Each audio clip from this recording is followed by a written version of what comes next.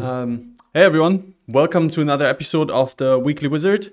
Um, I think today is episode three, and today I'm joined by the wonderful uh, data scientists from Messari, and that is Roberto uh, to my right and uh, just below me. And um, I think just to start it off, if you could both quickly introduce yourself and, and, and talk a bit about your background, like what, what you've done before, like doing joining the crypto space, that would be very cool. Of course, you want to take that first, Yuli? Yeah, so uh, I'm Yuli. I'm from Brazil. Uh, I live here since I born, so never abroad. And like previous to previous to join Messari, uh, I had a completely non-related to tech job. Like uh, I'm in, uh, I was an engineer for the oil company here in Brazil. Hmm. So yeah, I, I've come a I've made a big shift in my career, uh, joined Messari and uh, starting to work with data like that. So, uh, but for me, like, has been a pleasure because like I love the blockchain space a, a lot. So, uh, that's uh, how I I came. I, I've become uh, got a full job in, in the crypto. So yeah. Yeah, my name is Roberto. I come from a traditional finance background. I was there for uh, four and a half years, uh, doing risk management and a little bit of fund development. Uh, went down the rabbit hole around mid 2019. Uh, started exploring, you know, crypto in general as a, as you know, as like an equity. And I oh, I can trade it as like I trade equities or bonds or options. And then quickly realized that Ethereum is a little bit more uh, comprehensive than just like an asset. You know, so I started learning about the EVM.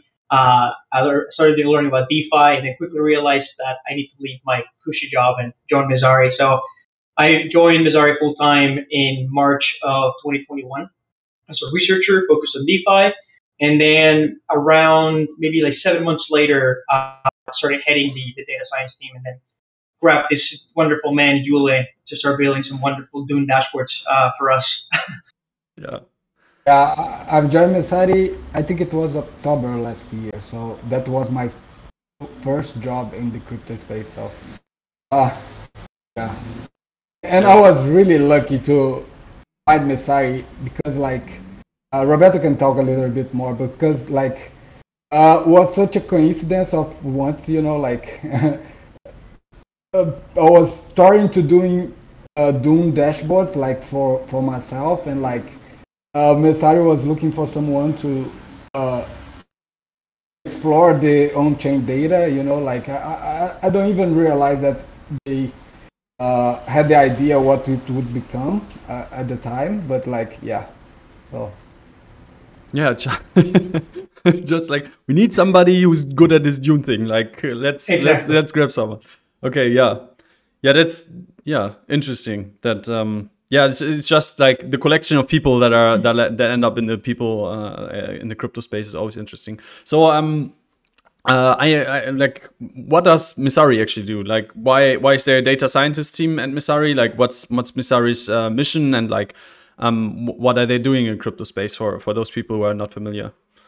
Sure. Yeah. So so we're a data aggregator and market intelligence company, and with a goal to organize uh, crypto information at a, at a global scale um, so that we can present it to everyone so they can navigate this uh, new digital economy. Um, and the extension of like why we have a data science team now is very natural. We're like we need to find ways to extract data from different data sources, in particular blockchains. Um, because it's very simple for us to aggregate market uh, market data, and then you know we talk about prices and volume, things like that. But there's this other huge component in the space that is blockchain, like on-chain information. So uh, the data science team was kind of born to tackle that area of let's hey let's have a team that can do the, the on-chain data and also like aggregate in such a way that is contextualized so our users can ingest it and then make decisions based on that. Okay. So before like I don't know like um I think you've been venturing on on-chain data for for for a bit now, but before that it was pretty much like all just market data so you, you, were having like order order flow and like price and like maybe like token distributions that's already kind of on chain but like lockup lockup periods and stuff like that more like more like from a like financial market perspective and not so much like the the on-chain market perspective. Is that kind of correct? Exactly. Okay. Exactly. Yeah, that's exactly right. Uh, our focus, I mean, is because of our data. Our data vendors were mostly on the on the market side. You know, Coinmetrics, CoinMarketCap, mm-hmm. uh, uh, Kaiko, and then now we're venturing more into like let's just get all the data from all the blockchains. You know? Yeah. Yeah, it's, it's yeah, all like, on the chain. Uh, our, anal- our analysts had like a really hard time like understanding the protocols uh, workflows and KPIs. You know, like the how how how the tokens move inside the protocol and like now with the data team like we can provide much more data for them to understand uh, each how each protocol works you know so okay the data team in Messari like it's becoming uh, each day more important as a, a resource internally you know like yeah are you hiring for new dune wizards at the moment maybe yes Yes, we are. We are. Yes, we are. We okay. are hiring at all the Dune research right now because uh, I mean we, we can dive more into that and like how we're working our, our working relationship with you later. But like yes, we are hiring right now 100. percent Okay, that's uh yeah we'll we'll make a I'll I'll make sure to include that link uh, in the description. um, so far, I've been doing all the hard work on Dune for Messari, so like yeah, I need help. you need some backups, yeah. yeah. Are you are you the only one who's doing the the the Dune Wizard stuff for Messari at the moment, Yula? Right now, I am, but there are another uh, data scientist in Messari that also can do it. Mm -hmm. Like, but uh, he's currently uh, uh overseeing other uh, types of data in Messari. So right now, all the Dune is mine. okay.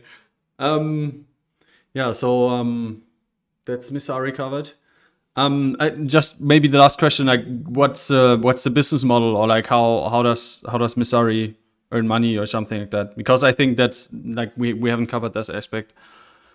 Yeah, of course. The, so we have uh, different uh, subscription models. Mm-hmm. Uh, we have uh, the you know the free version, which you can get like access to uh, a, a, lot of wealth of data sets in in our in our website. Uh, we have the pro subscription, which is uh, more geared towards uh, you know a retail investor. It's about thirty dollars a month, and then we have the enterprise tier, which is more for uh, you know if you're like a hedge fund or you're a uh, or you're an exchange, uh, which is a little bit a little bit higher. So that's how we uh, broke apart our, our business model right now. Okay, I see. Yeah, and we also have a lot of free content that people uh, enjoy, uh, like the quarterly report that we are going to talk very much uh, closely, which is free for everybody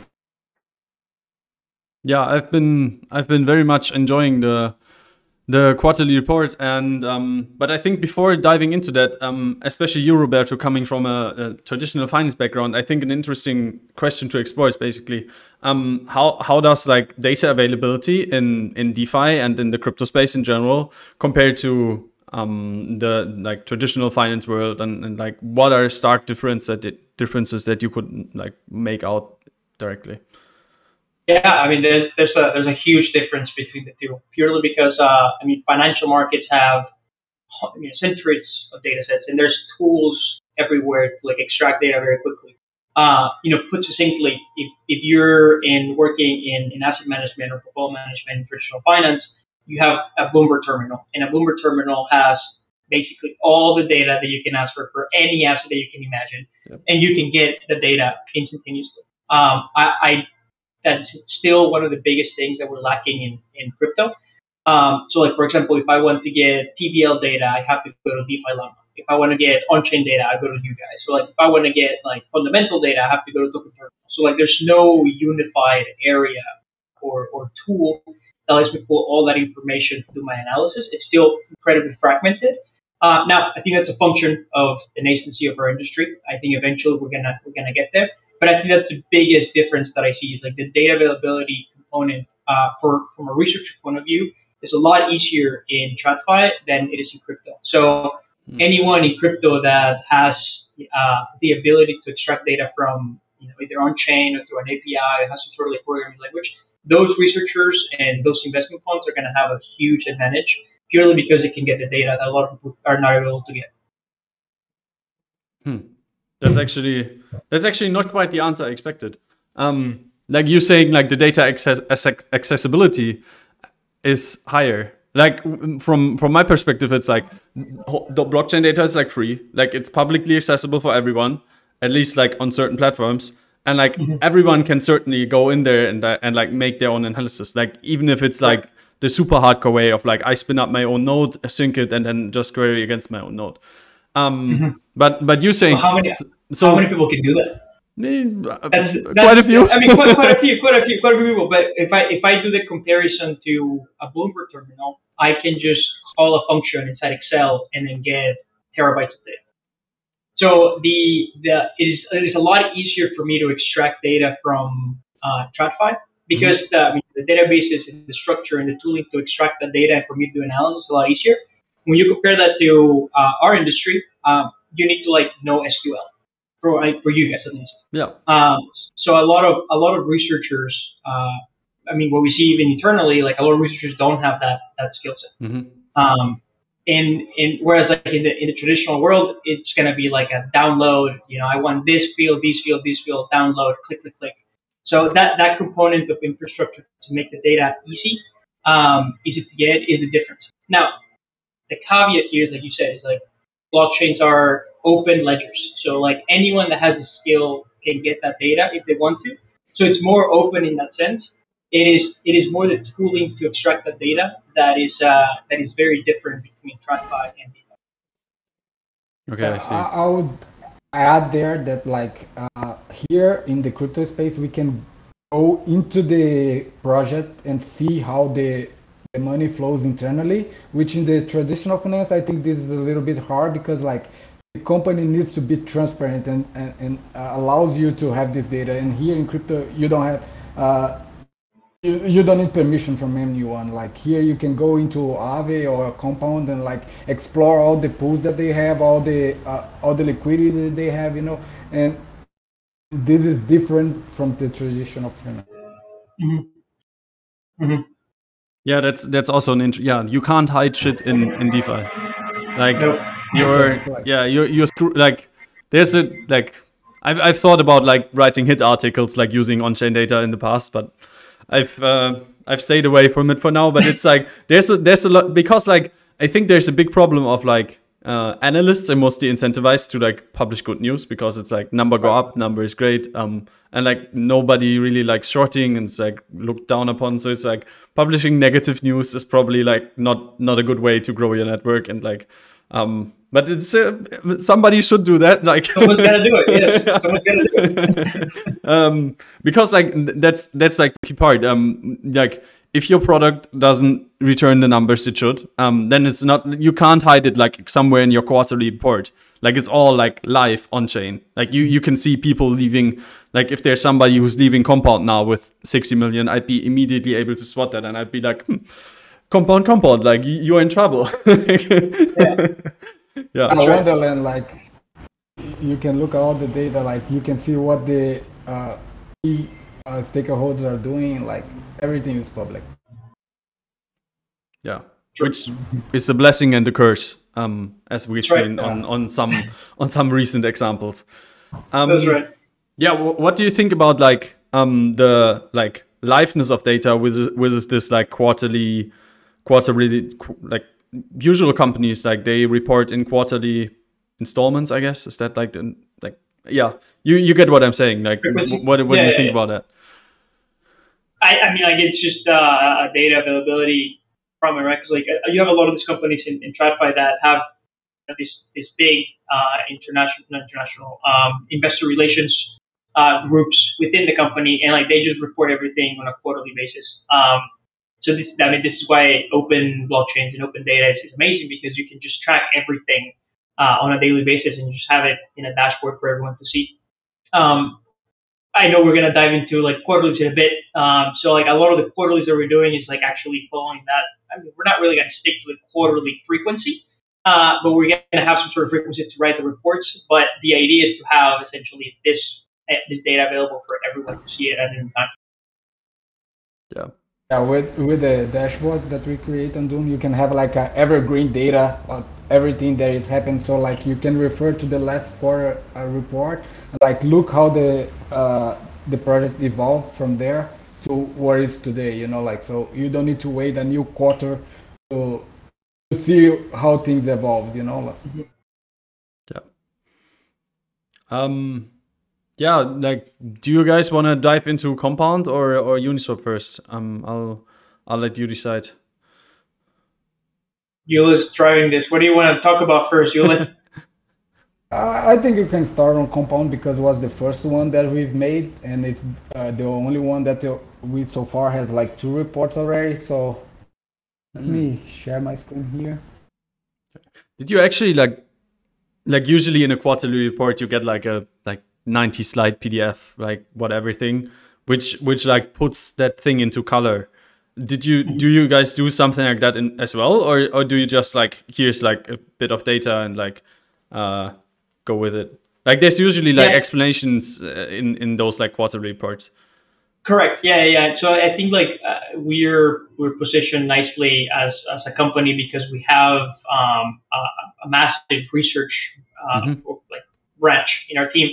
So it's great for like us data scientists pull that data, but there's still an element of uh, you know contextualizing that data into like actual insights. Mhm. So our researchers spend a lot of time understanding well, like this is how you compute revenue for this lending platform, and this is how you compute revenue for this DEX. So the, the quarterlies essentially give you a contextualized view of the raw data that we are pulling from on-chain. Mhm. That's why I think like our, we're, we're very nicely positioned to be the company that is producing these quarterly reports because we can infuse the raw data with these insights and then present that to our users for them to make a, a rational decision. Yeah. We need more Boxer, I think I need. I think I need permission to share my screen. Oh. How the hell would I do that? this hasn't happened before. Um, I'm clicking on the button, is nothing is happening. So I don't know if it's permission or not. yeah, let me let me check for a second. Technical um, issues. Oh, Can I you try- found where it is. No, no, I, I found the problem is that it opened in another window here. Sorry. Oh, okay. Uh, there you go. Okay, so There we go. Nice.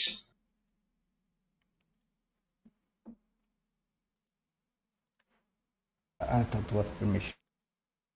Oh, this was the first uh, report that we had. Like it's the compound one. So this was the first dashboard that we done uh, in Messari to grab data. Oh, I don't know how to start it. Like, I'll give you a hand. I'll give you a hand real quick. Yeah, I'll give you a hand. So uh, what we're trying to do with this quarterlies is uh, provide a consistent view across uh, subsets of the market. So like all lending platforms are going to have a specific a specific uh, layout. All DEXs are going to have a layout. And if you notice that here, what Yul is showing you is that we start uh, providing pretty much like a table that contains all the information that we use to create every single chart that we're showing in the dashboard. Um, one one thing that we noticed when we started Dune this is that uh, the doing dashboards in general are uh, they have different layouts. So whenever you go into one specific dashboard, you have to basically learn what you're looking at across every single dashboard. So for us, it, it was very it was very important for the user to come in and have a very similar experience, so they can very quickly start ingesting the data and understanding the data that we're presenting without having to like understand the organization of the dashboard too much. I see. So yeah, that's a that's a really cool approach, and I'm I'm I'm actually really excited to hear that because that's a like I I see the same problem in the NFT market to some extent, where it's like we have a million different NFT dashboards, and they all like sli- Yeah. slightly report different data, and you're like like how can I like make What use of this? Yeah, yeah, it's like there's a new data point, like but what does it mean? And it's like if you standardize it, then it's like really then you can actually like work with the data. So um Right. yeah yeah really cool. Sorry, Yulit. Now you can take it away, sir. Yeah, can you can I you maybe just start? to Boxer right now. I'm listening to you, but not to Boxer. Okay. You were, were listening to him, right? Yes. You can't hear me anymore? Hello, hello. It might be. Um, I think it might be the stream. The stream is what might be causing the uh, the lag because I noticed that once you go live, we start getting this this technology issues.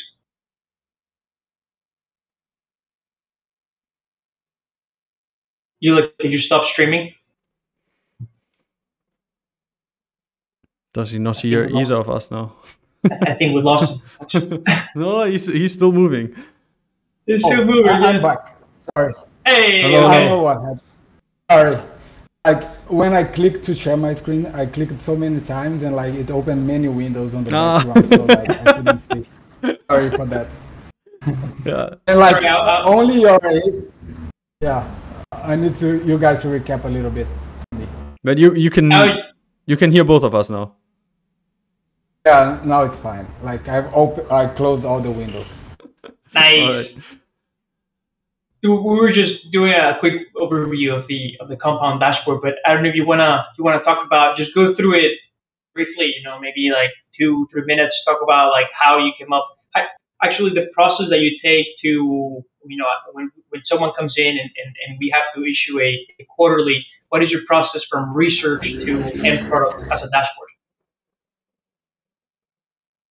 Oh yeah, like uh, when you first initiate, like I try to see all the contracts that the protocol has uh, on, on Dune or on- on chain, and I starting to uh, filter uh, which data is relevant for us and which are not. Like uh, most of the time, I'm very concerned about the token flows uh, because uh, most of these DeFi uh, reports that we've done are about DeFi projects. So the flows of tokens inside it, it's what the biggest concern we have.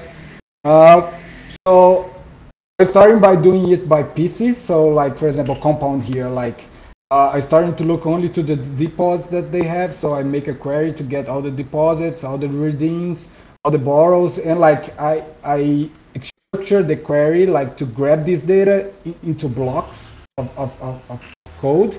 And at the end uh, of the query, when I already have all the data that I want, I like just uh, stick them together in one big table, which has all the data that the protocol uh, that we can extract from this protocol. So that's how I make these tables here. Uh, when you see it, it's like a big query, but like everything is divided by blocks that you can uh, analyze. So that's how, how I do it. Uh,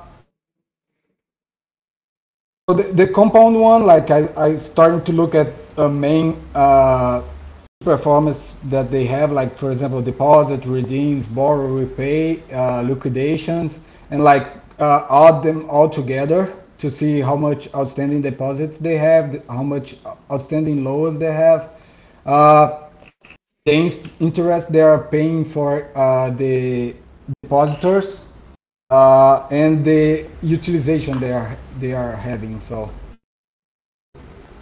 The, uh, the, the, the purpose of having the table um, at the top is uh, it was a very, um, I mean, it was a decision that we decided to make because we want to make this data also available to someone to download it very Mhm. quickly and very easily so they can recreate a lot of the charts that we're doing in the bottom. So if, if you notice, our dashboards will always have our header, some explanation of the dashboard, and then a big, big chunk of like data table at the top that essentially feeds into all the charts that we create at the bottom. So like if anyone needs to download the data, uh, mostly our researchers, like anyone else in the industry, they can do it very quickly and then you can recreate those charts that we're creating for ourselves.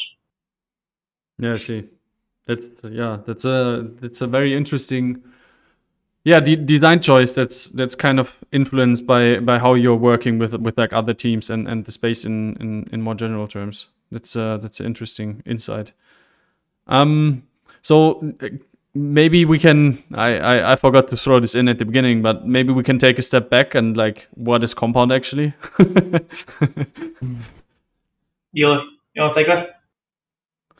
yeah, so Compound is a lending market that people can deposit their tokens, and it's essentially what the the main function of a bank. Like you can deposit uh, some of your assets, and this bank, which is Compound, can lend these tokens to other people that will borrow these these these, these assets and use for th- for their use, and they pay interest for the the bank, uh, which is uh, routed to the depositors.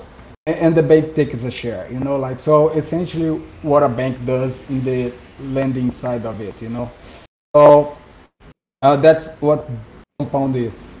Okay. So and and how many like deposits do they have today? Uh, look at here the outstanding deposit. But sir, you have not seen our dashboard, huh? You would know that answer, sir. I, I have seen it, but it's like I think uh, if we if we walk through this like this, like it, it might be uh, it might be very yeah, yeah yeah it might it might be very approachable to people if we if we do it this way. Um, I'm pulling your leg. Yes. I'm pulling your leg, man. So there's. Oh. Okay. Yeah, right now uh, people are already deposit uh, 10 billion, uh, 10 billion dollars of of value in, into compound. So. Okay. Do we do we have a chart for that over time? Yes. Uh, all, all the deposits by tokens. So you okay. can even see uh, which assets are being uh, represent the most of the value that uh, one has. So okay. I, I, I checked this the other day and, and, and I think USDC, USDT, and DAI were the most like uh, popular ones. Um, yeah. Do you have an idea why why it's so popular to like what do you think is people's move here? Like, are they depositing stables and then taking out volatile assets in the like in the hopes of shorting the market, or do they like do they do something similar to that, or like what's your what's your like thinking here? What what what is the what is the reason people are using compound like with stables especially? Like I can see like why I would like put my ETH in there and then like I I have my like I can take out stables against my against my ETH and then do something with those. But um, yeah, the other way around. Like I was actually surprised to find that it was that many stables. Yeah, the, the stables are the one that pays better. So like people uh, like to receiving yields on it. So mm -hmm. I think this drives most of the deposits that Compound has, and and also like. Uh, I think they are the most utilized uh, tokens on Compound uh, because this allows people to leverage on their uh, their position. So they take uh, stable coins and invest it in other assets, which they can uh, even deposit again if they want, you know, mm-hmm. Uh, and, and, take another a bigger loan on that and, and like increase the, their exposure to one asset. So I think when the market is in a bull market, like uh, the stable are going to be the most uh, borrow assets that we have. So. Yeah. Yeah, if we if we look at the the chart on the right, is uh, aggregated loans, right? So so that's the stables that yeah. are taken out on on compound. Yeah. Uh, recently, Compound also had a, a they they make a partnership with Coinbase, which allowed people from Coinbase to deposit uh, tokens in, in, into Compound, which uh, increased their reserves in USDC, I think. Oh yeah. Can you can you show us this on the chart? Like I I wouldn't be able to tell immediately where yeah, this could no, have been. I can't see exactly what it is, but like they announced it. So yeah, I, I know that happened. Okay. So what are what are people earning on these on these stablecoin deposits at the moment? Do we have a or like a, historical, I guess? Yeah, we have a chart here on the interest they're receiving as a depositor, like the supply side of the of the bank. Mm -hmm. uh, Oh, no, we we need to go into individual uh, assets to to see it. So. Oh, okay. Uh, because like, uh, yeah, we don't have an aggregate for the whole yeah, uh, yeah. compound ecosystem. Yeah. So.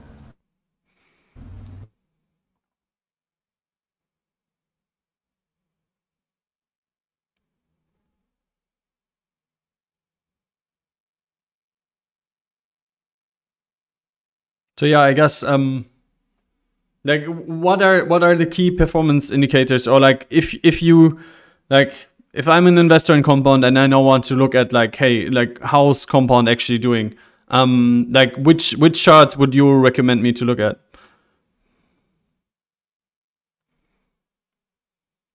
Yeah, I think right now the most important metrics they have is how much uh, deposits they have, like uh, what is the total value that they are holding there for you to be able to borrow, and how much uh, people are borrowing. So like uh, how many loans are, have people have took, and also the, uh, rate between the two, like how much uh, so the utilization that a compound is receiving, which we can see here.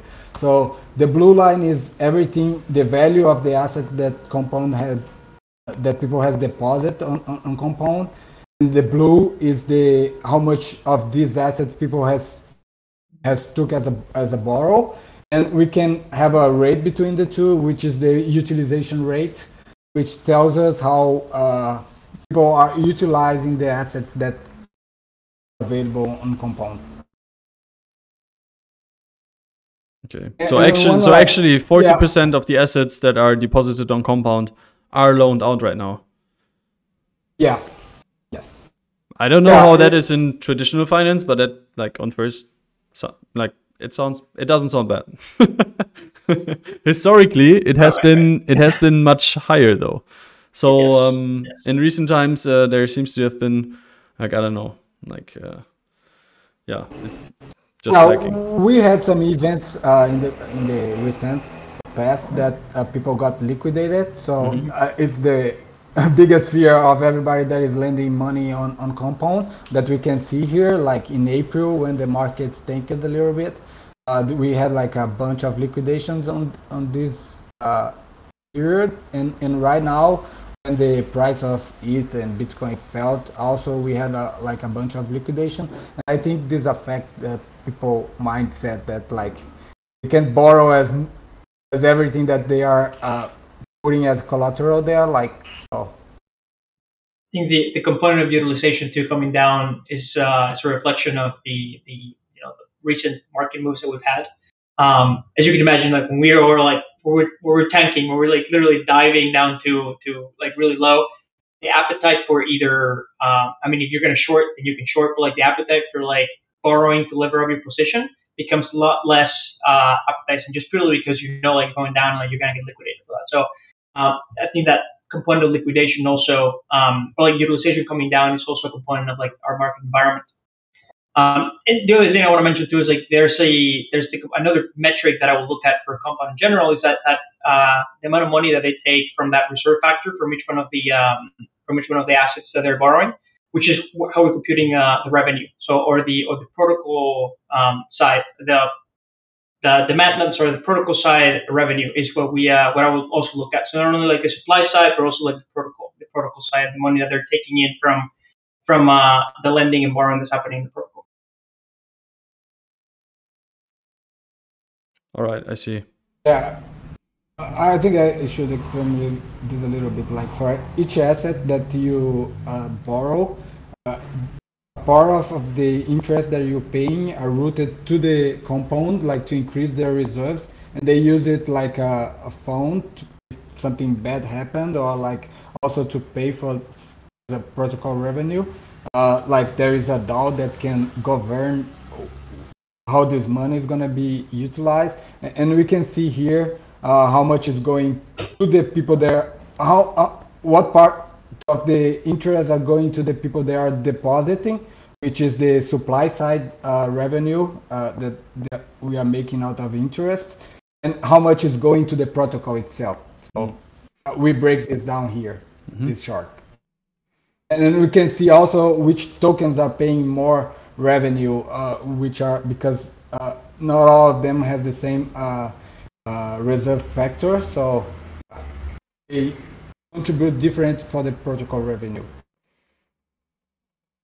Okay, so so that like as like if I was on the compound strategy team, I would now look at this and I would see, hey, there's a big like gray bar. So DAI is really valuable to us because it gives us a lot of supply side revenue, I guess that is.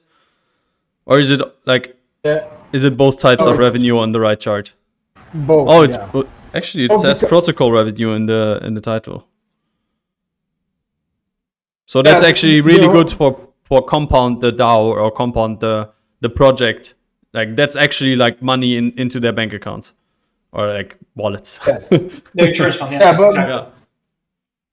yeah, but the the revenue it goes both to the depositors and to the protocol. So like yep. uh, it's just a fraction of the of the, the interest that goes to the protocol. So here is a breakdown of the protocol itself, like for, for compound, but the same uh, a bigger chunk of it is going to the depositors. Yeah. So like yeah. Okay, yeah, yeah, we can we can see that distribution on the left, but on this like right hand side chart, uh, it's only uh, protocol revenue. Um, is is that a daily chart? So on a on an average day, they earn like 60, 70 k just from their depositors. Is that like correct interpretation? Yeah, it's a it's a daily chart. Okay, they're printing money.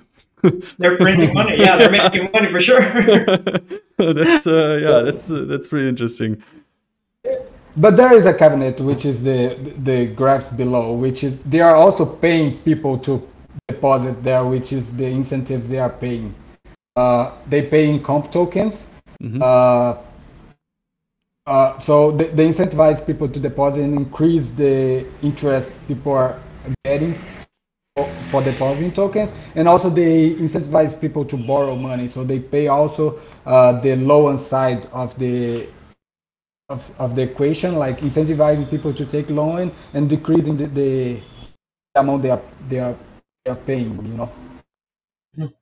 so they, they're receiving comp tokens which uh, we can see here. We the the incentives are like this is our aggregate chart, so like we can see that it's all increasing comp. But here we multiply by the price of comp, so that's why the sharp is a, the, the graph is a little bit sharp, you know, mm-hmm. because it's multiplying by the current price of uh, compound. Yeah, I see. Do do you have a chart somewhere that uh, subtracts the token or like the the protocol revenue minus the the incentives that are paid?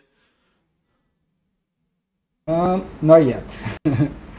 okay, that would actually be really interesting. I think there was a big story about Spell, uh, like two weeks ago or something. That Spell was profitable for the for the first day in their entire life, basically, because like the spell emissions were less or maybe a week or a month. I, I don't know the timeline anymore, but basically they had crossed this like um, they were basically making money for the first time if you like uh, look at all the spell tokens they're emitting and uh, looking at the revenue that's coming in. And that's like, it's a hugely important thing, like to get to that point, right? Because like your token emissions can't go on forever. And like once you cross that threshold of being like, hey, like we're actually earning money, of course, we're still like giving out like not free money, but like it's kind of like marketing expense you could call it.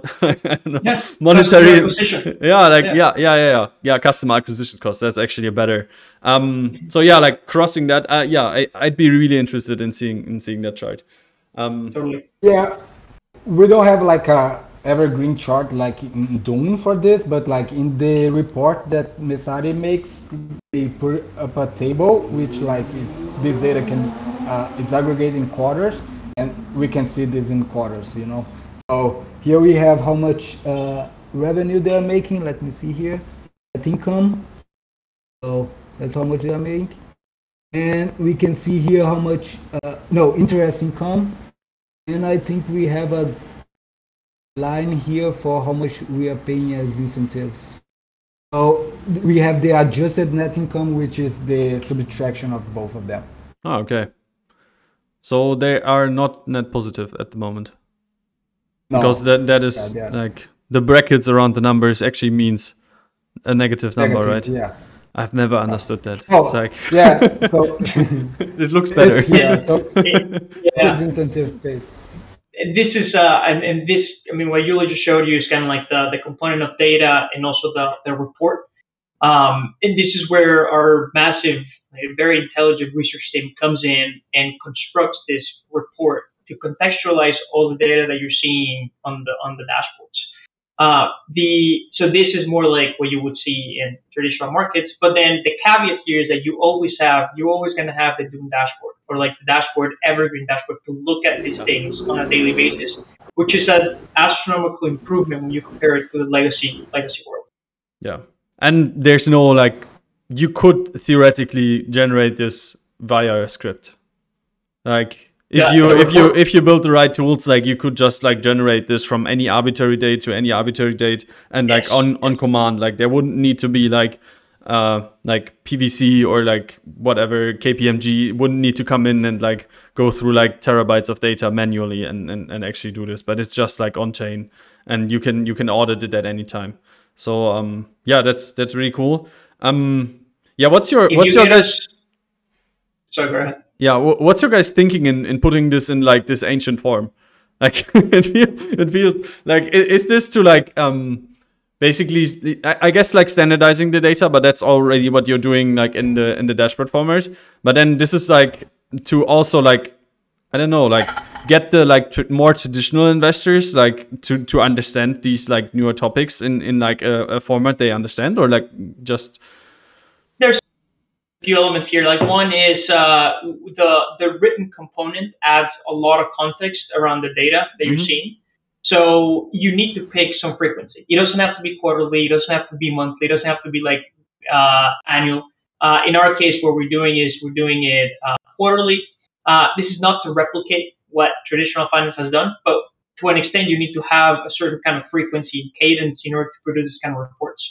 Uh, the the other component is like, yeah, you're correct. So like, if we're trying to be like, as Messari, one of our goals is to just contextualize all this information, organize it in such a way that like anyone can start navigating this new uh, digital economy. And when you present it like this to uh, investors, not only in traditional finance but also like in crypto, you can ingest that information a lot more in a lot more simpler way. And like you mentioned, like you, I mean, you nailed it. If a if an investor from TradFi looks at this, they're going to see as a lot, lot more familiar and a lot easier to to digest. Yeah, Yeah, I see. That's yeah. I, I actually um yeah now now that I think about it properly, like it actually makes it makes a ton of sense.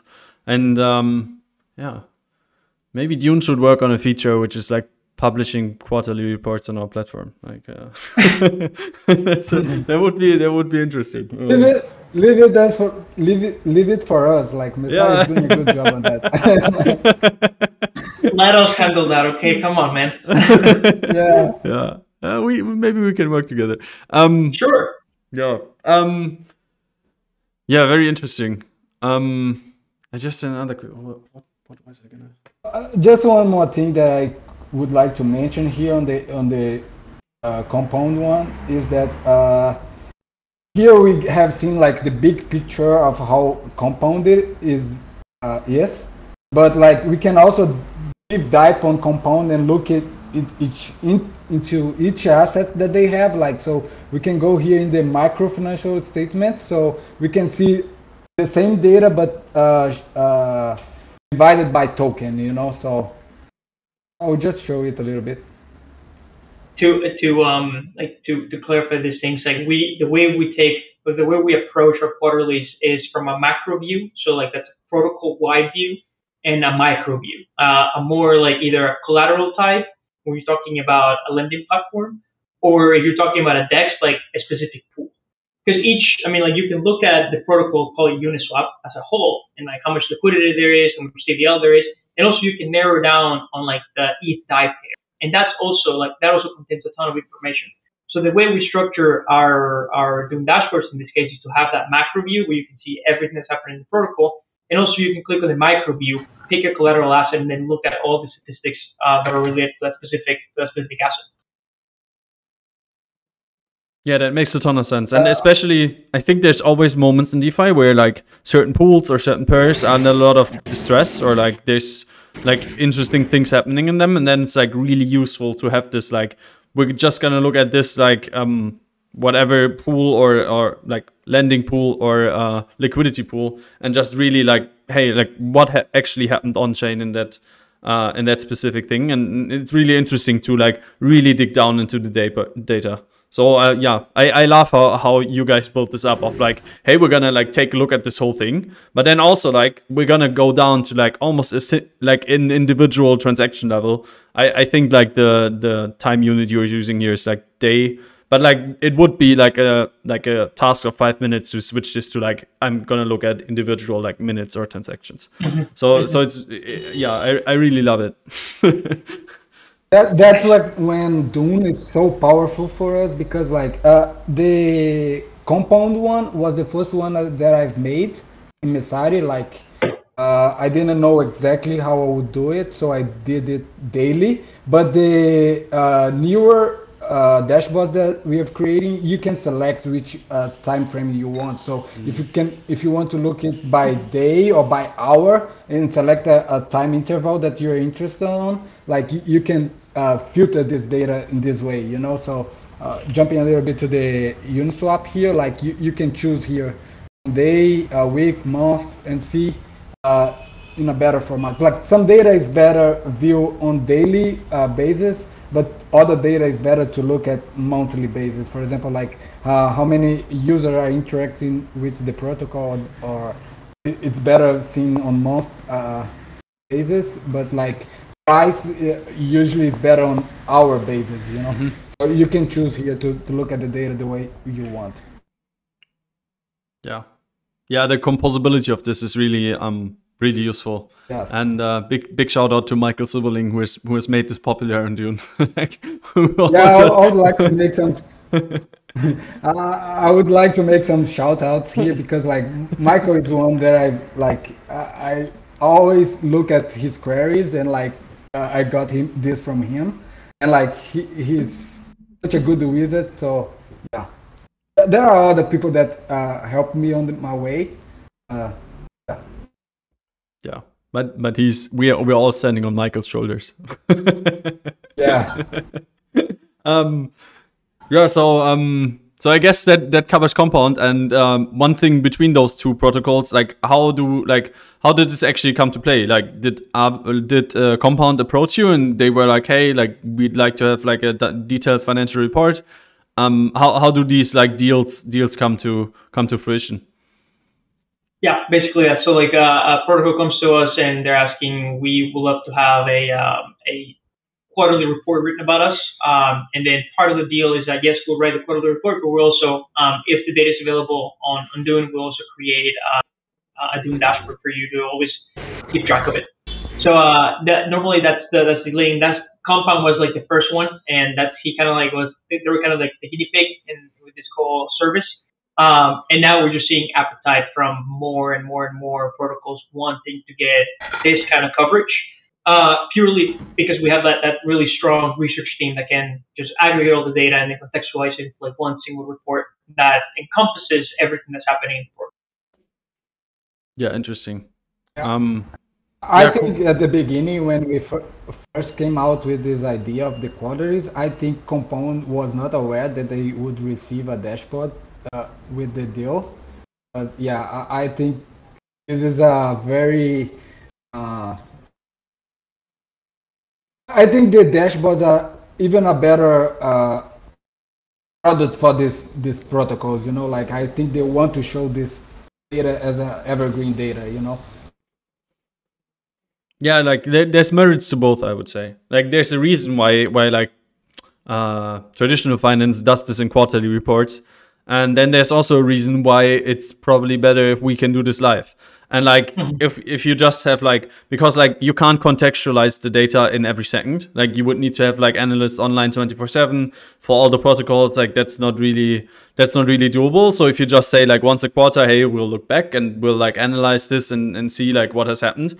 But then in the meantime you can always you can always just like um yeah just look at the data and actually see see for yourself and then you maybe need to figure out for yourself like what's actually happening in, in the quarterly. And maybe there's like there's other like uh, kind of low tech solutions but like still involving some tech where where one could solve that. So like example have like a like a message board or something like embedded in, in inside of the inside of the dune uh, dashboard and just be like hey like this is the news in the last seven days in compound and like this might be why uh, why the deposits have gone down or something. Or uh, yeah, like um, there, there's there's lots of ways to to basically improve upon the quarterly report, but, but with the current methods, like I, I love that you guys are doing this, and I think it wouldn't be manageable otherwise. Mm-hmm. Mm-hmm. That's right. so yeah, let's let's dive into Uniswap. Um, it's also just amazing what you've built here. Yeah, like uh, Uniswap was a totally different uh, dashboard from the Compound one because like the amount of data on Uniswap is massive. You know, like they have like almost on every block there is at least one swap, uh, Uniswap transaction uh, on on Ethereum. So like uh, the dashboard for for Uniswap was uh, much more challenging than the Compound was. And here is when I took leverage of the abstract tables that we have uh, for for the dexes and like most of this this dashboard is based on the abstraction table, mm-hmm. which is like I, I think is the future on, on Dune, you know. Uh, I, I think as this protocols evolves, like the data is gonna get uh, ever uh, more complex with time with time.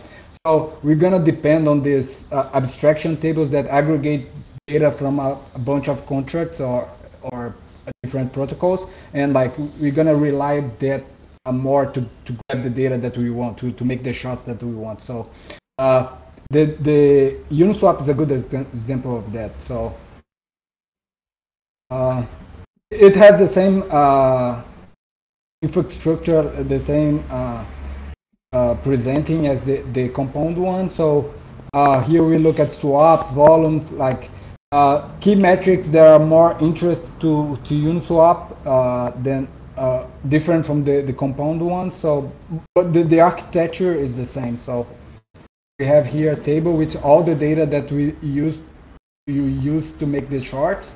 Uh, and we break down here by by by version, and that's it. So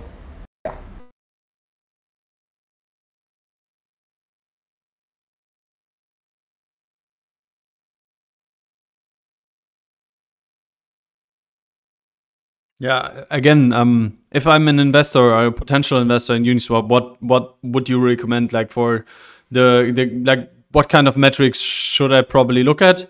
And I think, yeah, with with like the Dexter trade table that we have, because we have all this aggregated data, there's probably also like compare like comparisons you can make to other protocols and stuff. So maybe maybe if you can dive into into those aspects a bit, that would be cool. Yeah, uh, first of all, like you're putting us in a very hard position because like we are the data guys, like we don't analyze this protocols at this. yeah, yeah, yeah. But anyways, like, uh, but uh, yeah, we can talk a little bit of Uniswap. So I think they uh, they have two metrics that I think are the most important one, which is how many users are using Uniswap. So it's this first chart here on top Mm-hmm. Uh, and also the volume that uh, they are doing. I think those are the most uh, the metrics that are the most important ones for, for Uniswap. Uh, the cool thing about Uniswap is that uh, they launched a new version of the protocol, so like you can compare the uh, Uniswap v2 and Uniswap v3 in this dashboard. So here is divided by by each version, so mm-hmm. it, it makes comparison between the two very easy. I think you nailed it. Yeah, volume, volume. Uh, I, the last one that I would add is like the depth of liquidity for a specific pair. I would also be interested in, in that kind of uh, that kind of metric. So depth of liquidity, uh, oh, yeah. volume, because volume is directly related to the fees that the LPs are generating. In the case of in the case of Uniswap, there's no protocol revenue. Everything goes directly to the to the supply side, you know, 0.3%. So like that, you can compute the, the supply side revenue uh, directly from, from the volume. So volume, uh, the depth of liquidity, and also like the usage of the platform would be my top three as, a, as an investor in, in Uniswap.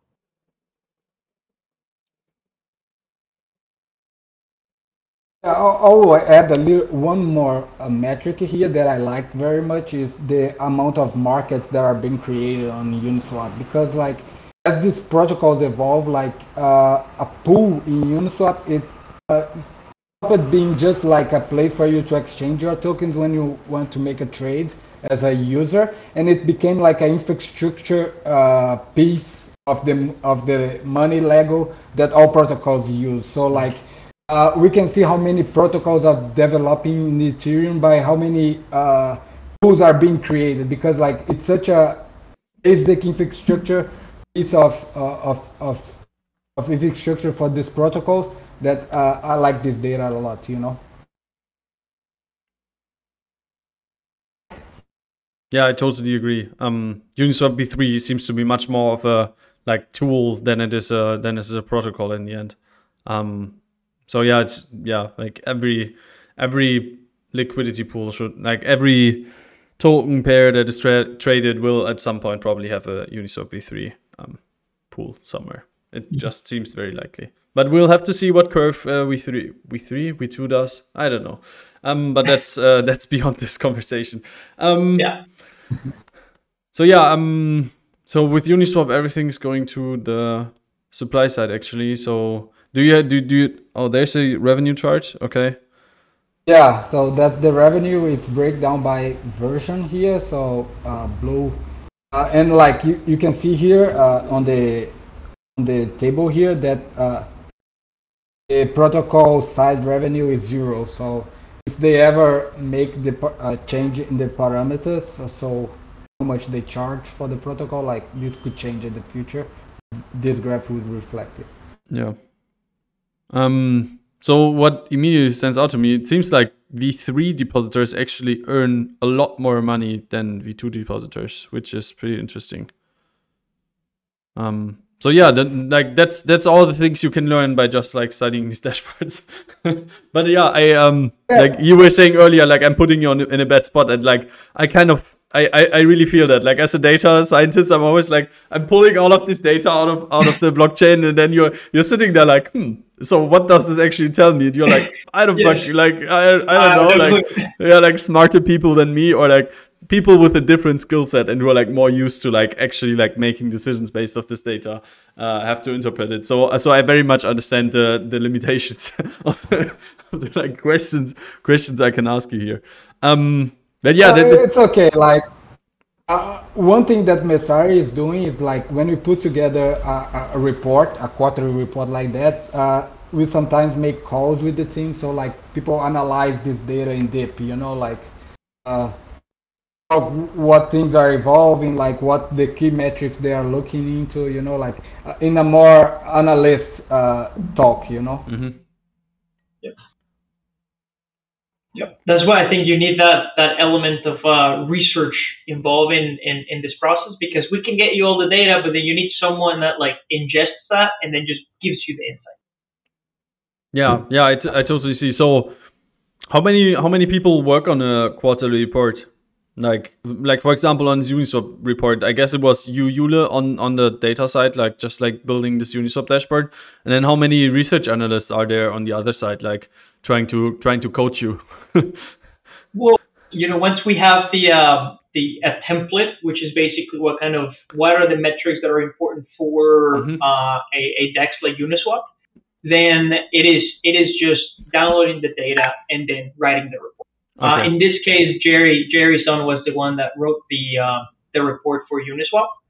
Um, in the first compound report was written by Ron Watkins, and then this following one is going to be written by by someone else. But like what I'm trying to say is that we already have a template for okay, okay. what compound yeah. should be. They just have to download the data and then write the report, kind of give the insights and just contextualize what's happened over the quarter.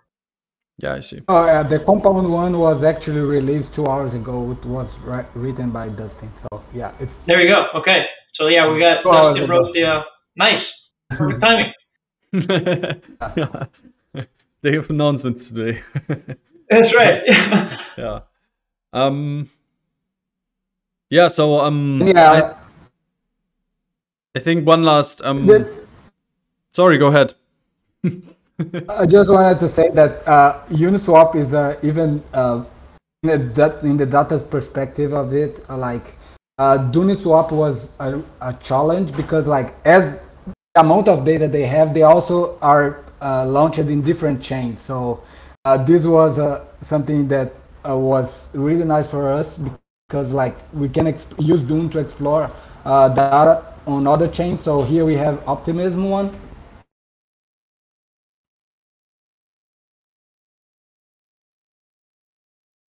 And he's gone. I think we lost you. Yeah, yeah. we lost you here.